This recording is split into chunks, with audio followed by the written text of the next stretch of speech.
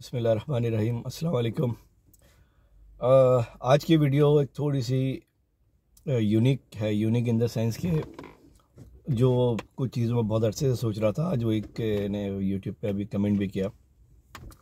Thumbnail देख के आप लोगों को आइडिया हो गया होगा यकीनन कि हम यूएई से या दुबई से पाकिस्तान बाय रोड किस तरीके से अपनी गाड़ी में जा सकते हैं। कुछ लोग ये सवाल करते हैं कि जाया भी जा सकता है तो उनका जवाब है, जी, बिल्कुल जाया जा सकता है। और पहले लोग गए भी हैं। और आप ये जब इराक़ का मामला हुआ था, जो उसमें जो वार जोन में बन गया था, उस टाइम पे लोगों ने जाना बंद कर दिया था। उन्होंने बंद क्या किया था? सऊदीया वाले आगे एंट्री नहीं देते थे, या कोईत वाले आगे एंट्री नहीं देते थे।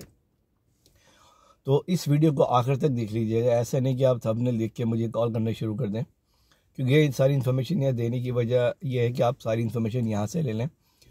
होता ये है कि कुछ लोग जी थंबनेल देखा थोड़ी सी वीडियो देखी, फ़ौरन कॉल कर ली। आप कॉल करें बिल्कुल, लेकिन एक सवाल आप लोग सारे अक्सर लोग वही कर रहे होते हैं जो कि ऑलरेडी मैं एक्सप्लेन कर चुका होता हूँ इसके अंदर।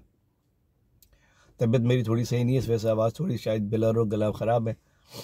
तो बहरहाल अगर आपको दुबई से या यू से अपनी गाड़ी में जाना है, पाकिस्तान तो उसके उसका तरीक़ेकार बड़ा आसान है। आसान इन द सेंस कि आप, उसकी कुछ रिक्वायरमेंट्स हैं। देखें पहली बात तो आप अकेले नहीं जा सकते हैं। मिनिमम जो मैंने सुना है, कम से कम छः से सात गाड़ियों का काफ़िला होना चाहिए मिनिमम मैक्सिमम भी इसकी कुछ क्वांटिटी है, लेकिन आप ये बोल के डायरेक्ट नहीं जा सकते कि आप पाकिस्तान जा रहे हैं। उसके लिए आपके साथ एक लोकल का होना ज़रूरी है, जो कि एक कारवान की सूरत में आपको यू से एग्ज़िट कराए, सऊदीया से, सऊदी के बाद कोईत से। असल में यहाँ जो मैं बात आपको एक्सप्लेन करता रहूँगा तो आपको समझ में आ जाएगी। पाकिस्तान जाने के लिए कहीं मतलब हमको अगर, कतर, बहरीन कोईत इराक कहीं भी जाने के लिए सऊदी आपको इंटर होना है। आपके पास जो का रेजिडेंस वीज़ा है, सबसे पहले आपके पास सऊदीया का मल्टीपल एंट्री वीज़ा होना चाहिए। पहले हम सऊदी क्रॉस करेंगे। सऊदी आप जब जाएँगे, सीधा आप दमाम की तरफ़ जाएँगे, ना कतर, बहरीन, कुछ नहीं, सीधा दमाम से होते हुए आप कोईत की तरफ़ जाएँगे। अब कोईत का मसला ये है कि कोईत ने पाकिस्तानियों के वीज़े आजकल बंद किए हुए हैं।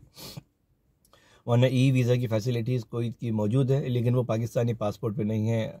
भले आप जी सी सी रेजिडेंट हैं या नहीं, उसका कोई फ़र्क नहीं पड़ता।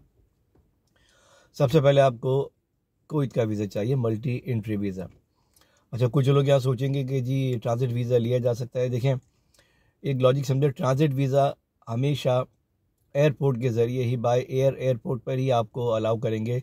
ट्रांजिट वीज़ा कभी भी आप बाई लैंड, कहीं भी आप कोई कंट्री आप ट्रैवल नहीं कर सकते या क्रॉस कर सकते हैं, उसके लिए आपके पास वहाँ का विज़िटर वीज़ा होना ज़रूरी है। तो यहाँ से आप गए सऊदी और सऊदी से आपने एग्ज़िट लिया कोईत का।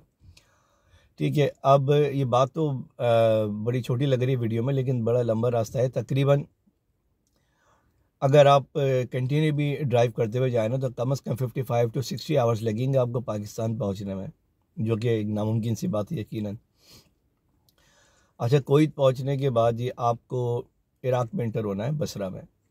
ठीक है ना? उसके लिए आपके पास इराक़ का भी वीज़ा होना चाहिए। बसरा से आप स्टेट नहीं जाएँगे। बसरा से बिल्कुल आगे आप अगर अपना ईस्ट की तरफ़ जाएँ तो आपको ये ईरान का बॉर्डर मिलेगा।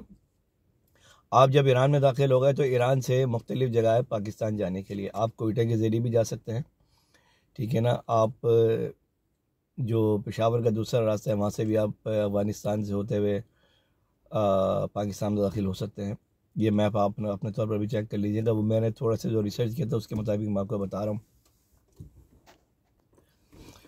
जी तो इराक़ के बाद ईरान ईरान से आप पाकिस्तान जा सकते हैं। अब यहाँ पर जो मेन प्रॉब्लम आ रही है, कोई का वीज़ा भी अप्लाई कर लें, किसी की स्पॉन्सरशिप लेकर, जो मेन अक्सर लोगों को जो तशवीश होती है, वो मुझे भी हुई थी कि क्या इराक़ अभी अलाउ करेगा? किसी को भी अपनी कंट्री में जाना है। बिल्कुल अलाउ कर रहा है इराक़ और टूरिज़म वहाँ पर। मतलब जो पास टू थाउज़ेंड थ्री में जो वॉर स्टार्ट हुई थी उसके बाद जो वहाँ मामला थे, पहले से बहुत बेहतर हो गए और वहाँ पर टूरिज़म स्टार्ट हो गया है। लेकिन यह कि फिर भी वहाँ आपको सिर्फ़ इराक़ के अंदर नहीं जाना। कोई से इराक़ में इंटर होकर आपको सीधा ईरान की तरफ़ एग्जिट ले लेना है, जो कि ईरान में आप आ गए थे, फिर पाकिस्तान पहुँचना आपके लिए आसान रहेगा। जैसे मैंने बताया कि मुख्तलिफ़ रास्ते हैं पाकिस्तान इंटर होने के। और मैंने जो बताया ना, इसके लिए आप अकेले नहीं जा सकते। आपके लिए गाड़ी को काफ़िला होना चाहिए और एक लोकल होना चाहिए जो आपके साथ सिर्फ़ ईरान तक जाएगा। अब मैंने शुरू में कहा था कि ये पाकिस्तान नहीं जा सकते। बिल्कुल, आप जो लोग यहाँ से गए हैं, उन्होंने ये बात मैं वो बता रहा हूँ जो मैंने कुछ लोगों से डिस्कस किया, जिनके जानने वाले गए हैं। वो लोग कहते हैं, जी, हम टूर पे जा रहे हैं बाय रोड नेपाल। ठीक है, नेपाल वो नहीं जाते, फिर वो एग्जिट कर लेते हैं पाकिस्तान के लिए। कुछ लोग मेरी बात सुन के हंसेंगे। उनके लिए मैं बहुत खुश हूँ अच्छा है, मेरी वजह से उनको खुशी मिल रही है, हँसते रहें। काम करने वाले होते हैं, वो काम कर रहे होते हैं। और, लेकिन ज़्यादा लोग जो हमारे पाकिस्तान गए हैं, वो इसी वजह से गए हैं। मतलब इसी रूट को अपनाते हुए। तो मेरा इंशाल्लाह इरादा है, एक भाई ने कमेंट किया तो उसने एक सोई हुई जो ख्वाहिश थी, उसको जगा दिया फिर। तो आप लोग इंशाल्लाह चैनल पर तो हैं, जिन्होंने नहीं सब्सक्राइब किया, उसका सब्सक्राइब कर लीजिएगा। एक इंशाल्लाह इस पर मैं एक डिटेल एक और वीडियो बनाऊँगा, जिसमें पूरा मैप जो उसके अंदर सारा डिस्कस होगा। उसके लिए मुझे थोड़ा टाइम चाहिए, क्योंकि मेरा इरादा है बिल्कुल बाय रोड यहाँ से पाकिस्तान जाने का।